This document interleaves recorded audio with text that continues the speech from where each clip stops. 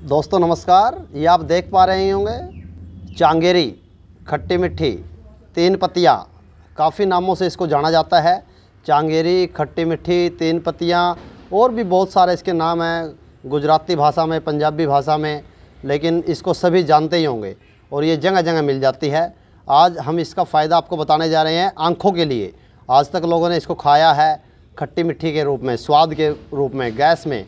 लेकिन आज हम इसका जो फ़ायदा बताने जा रहे हैं, वो आँखों के लिए आपको बताने जा रहे हैं, जिनकी नज़र कमज़ोर हो गई है, वो इससे अपना चश्मा कैसे उतार सकते हैं, वो इससे कैसे लाभ उठा सकते हैं, जिनको धुंधला दिखता है, वो धुंधलापन कैसे ठीक कर सकते हैं, इसको बिल्कुल सिंपल है करना, इसके पत्ते सिर्फ़ हमें लेने हैं, और पत्ते लेकर इनका थोड़ा सा रस, एक या दो बूंद अपनी आँखों में डालना है, और उसी से हम बिल्कुल अपनी आँखें साफ़ कर सकते हैं आँखों की सफ़ाई करने के लिए सबसे बढ़िया जड़ी बूटी है।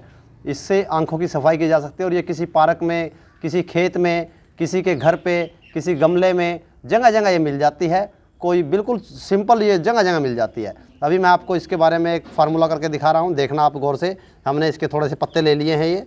ये देखिए, ये पत्ते मैं इसके तोड़ रहा हूँ। ये पत्ते इसके ऐसे तोड़ लेने हैं। ये डंडियाँ इसकी नहीं लेनी है। जो डंडी आ जाती है, इसके सिर्फ़ मात्र पत्ते पत्ते हमें लेने हैं और इन पत्तों को लेकर अभी मैं आपको करके दिखा रहा हूँ।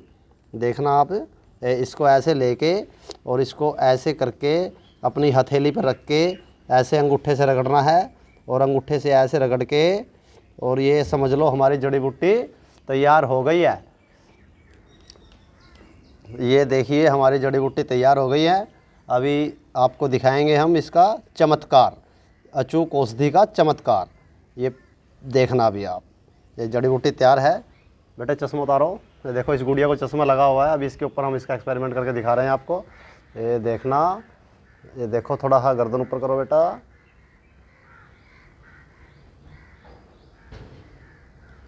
थोड़ा हाँ उधर वाली खोल लो एक बार। श्याबाश श्याबाश थोड़ी ऊपर करो गर्दन।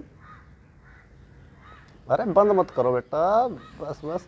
उधर उधर उधर उधर देखो कैमरे की तरफ़, अभी बताना। ये देखिए चांगेरी जो है, इसको हमने काफ़ी सारे लोगों पे यूज़ किया। जब हमने इसको आँखों में डाला तो इसका ये काम कैसे करती है? मैं आपको वो समझा रहा हूँ। जब हमने किसी की भी आँखों में एक एक बूंद इसकी डाली, उसके बाद उसकी आँखों से थोड़ा पानी बहा थोड़ी सी लगी वो, और पानी निकला आँखों से।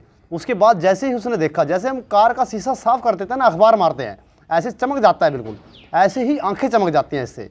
जितने भी गंदगी होती है, जितना भी अंदर चिपका होता है शीशे के ऊपर, धुंधलापन होता है, वो सारा साफ़ हो जाता है, और बिल्कुल क्लियर नज़र आता है। मैंने काफ़ी लोगों पर इसको यूज़ करके देखा आज ये बेटा है हमारे साथ, इस पर यूज़ किया है। आज ये गुड़िया भी आपको अभी थोड़ी देर में बताएगी, अभी तो ये बेचारी आँखों को झपक ही रही है, क्योंकि काफ़ी तेज़ थोड़ी लगती है स्टार्टिंग में, और सफ़ाई बहुत अच्छी करती है।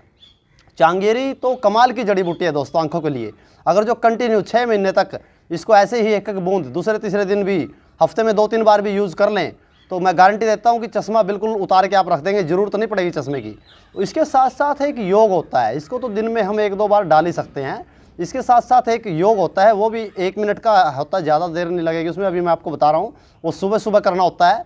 अभी पहले मैं इस गुड़िया से पूछूँगा बेटा हाँ अभी तो आँसू टपक ही रहे हैं। गौर से देखिए आप जरा नज़र घुमा के अपने इधर उधर। जैसे पहले जैसा आपको नज़र आ रहा था अब उसमें कुछ फ़र्क है। हाँ, हल्का फुल्का फ़र्क है मतलब हल्का फुल्का हाँ, बेटा एक बार डालने से हल्का फुल्का फ़र्क है तो कोई छोटी बात थोड़ा ही। है हाँ, ये अचूक औषधियाँ हैं हमारी। इसमें मतलब कैसा फील कर रहे हैं आप? सही बताइए रियल कैसा फील कर रहे मतलब अच्छा फील हो रहा है जैसे स्पेक्स लगा के बिल्कुल क्लियर दिखता है बट Okay. अब बिना स्पेक्स के भी थोड़ा मतलब साफ़ दिख रहा है मेरे को। ज़्यादा धुंधला दिखता है बट अब इतना धुंधला नहीं दिखता हाँ हाँ ये बिल्कुल मैं आपको बेटा वो पानी देगा एक बार गिलास उठाकर मैं आपको बता रहा हूँ दोस्तों खाली आप ये मत समझना कि मैं जो आपको बता रहा हूँ वो खाली ऐसे ही बता रहा हूँ। वो अचू अचूक औषधियाँ हैं उनको आप कोई भी यूज़ करके देखेंगे बना के देखेंगे तो आप खुद मान जाएँगे कि भाई हाँ वाक्य में ये अचूक औषधियाँ तुरंत काम करेंगे ये। एक मिनट का भी समय नहीं लगेगा आप तुरंत कहते हैं ना, अंग्रेज़ी दवाई तुरंत काम करती है, देसी दवाई धीरे धीरे काम करती है।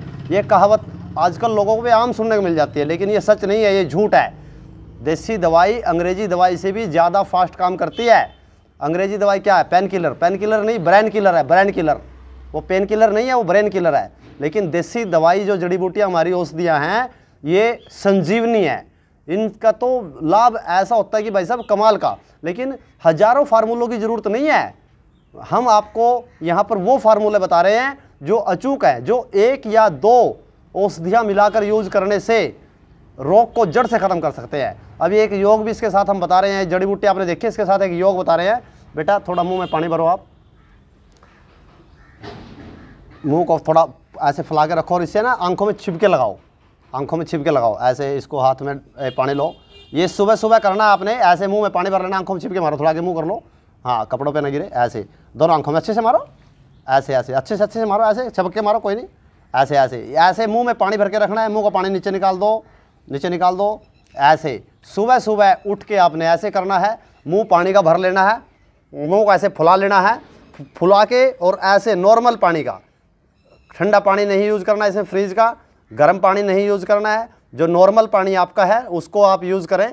सर्दी का मौसम है, हल्का गुनगुना पानी यूज़ कर सकते हैं ठीक है? अगर जो गर्मी का मौसम है तो नॉर्मल पानी यूज़ करें। और उसको मुँह में भर के मुँह को फुला के ऐसे फुला के रखें और आँखों में छिपके मारते रहे। हर सुबह ये काम करें। हर सुबह ऐसे कंटिन्यू करने से आपकी नज़र एक महीने में ही आपको खुद पता चल जाएगा कि ये क्या फार्मूला है। ये जल नीति है, जल नीति। जल नीति पे आज बड़े बड़े देशों में वैज्ञानिक लोग काम कर रहे हैं और ये जल नीति है। कोई ये ऐसा नहीं है कि कोई आम फार्मूला है। इसको जो यूज़ करेगा, वो ज़रूर कमेंट करेगा, ज़रूर इस वीडियो को शेयर करेगा। वो ज़रूर आगे से आगे लोगों को बताएगा कि वैद्य जी कैसे कैसे अचूक फार्मूले बताते हैं। तो हमारा जो मिशन है, वो है पेड़ लगाओ। तो आप पेड़ भी ज़रूर लगाएँ। रोग भगाने के लिए पेड़ लगाना ज़रूरी है। पेड़ लगाओ, रोग भगाओ अभियान को ज़्यादा से ज़्यादा शेयर करें, ज़्यादा से ज़्यादा लाइक करें, ज़्यादा से ज़्यादा कॉमेंट करें।